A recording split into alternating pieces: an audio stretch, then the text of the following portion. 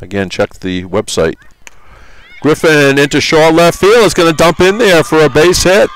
RBI single for Emily Griffin. Callahan throws. Here's a line drive. Base hit into left field. RBI single for Hannah Wergaff. She caught today.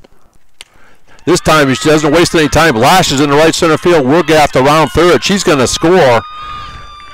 And getting back to first is Collins.